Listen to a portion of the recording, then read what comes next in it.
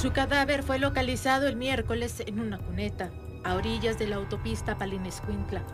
Desapareció el sábado 17 de abril a las 5 de la tarde. Su nombre era Jennifer Guadalupe Lobo Chocojoy, de 13 años. Dijo que iba a comprar un chuco, pero ya no regresó.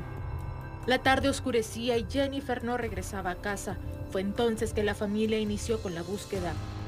Unas personas dijeron que habían visto que unos hombres la forzaron a subir a un vehículo de color blanco y fue hasta las 11 de la noche que la familia puso la denuncia ante la PNC y activó la alerta Alba Kenneth temiendo lo peor.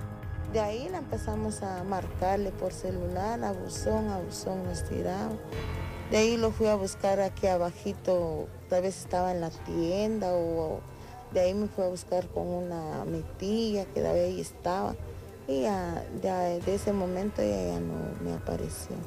Fue el día sábado 17 de abril.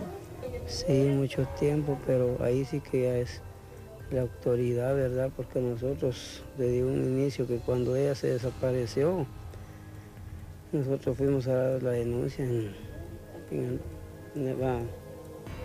Entonces por eso fue que nosotros siempre lo seguimos buscando, pero ya no, Vecinos y familiares compartieron por medio de las redes sociales fotografías para ver si alguien la reconocía o ayudaban a dar con su paradero. Pero la peor de las noticias fue confirmada el miércoles. Su cadáver estaba en una cuneta, a un costado de la autopista Palinescuintla, en el kilómetro 58.5. Estaba semidesnuda y con varios golpes, por lo que se presume fue víctima de abuso y su muerte fue violenta. Este viernes, el INASIF informó que la menor murió por asfixia por estrangulación, por lo que las investigaciones continúan para dar con los asesinos. Jennifer Guadalupe Lobo Chocojay era estudiosa, deportista, era goleadora del equipo de fútbol Las Estrellitas de Palín. Tenía un futuro, tenía una vida y ahora solo queda el llanto desconsolado de su familia que le da el último adiós y piden justicia.